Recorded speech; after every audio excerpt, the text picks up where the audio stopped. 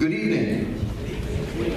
Welcome to the Lakota Winter Jazz Festival. We are so glad that you're here tonight. We're all in for a great time with jazz and, and lots of different schools represented in different groups. In fact, this is the first time in my memory that we've done a Lakota Winter Jazz Festival with East and West bands on the same night. Now the first portion of our concert is the east side of the district, and then later on, if you'd like to, beginning at 7.30, we welcome you to stay for the west portion of the concert. And maybe we even have some west folks out there right now, and that'd be great too. So we're glad that you're here, and, and we're about to kick things off with a wonderful band and hear four great bands tonight. You'll hear from both junior schools, Hopewell and Liberty Junior School. You'll hear one of our freshman campus bands, actually our, our only East Freshman Campus Jazz Band, and you'll hear one of our two main campus jazz bands tonight.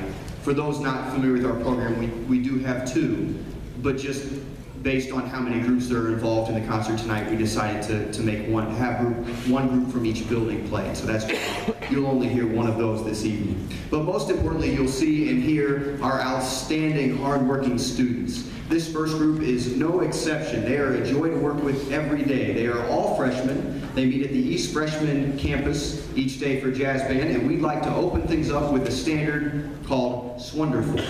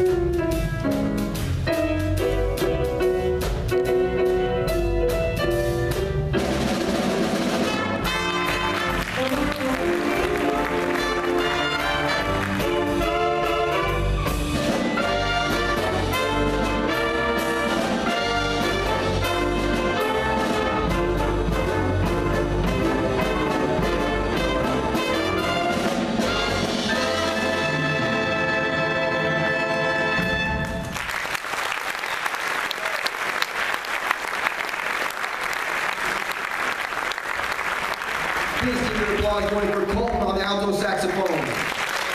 Rick on trumpet. Nick on drum set and Sidney on piano. Wonderful. Um, eighth graders, one great thing about this band is that this band meets every day during the school day all year long. Doesn't that sound great? Jazz every day during the school day, all day long. So that, it's very exciting to see what we can do with that much time, obviously.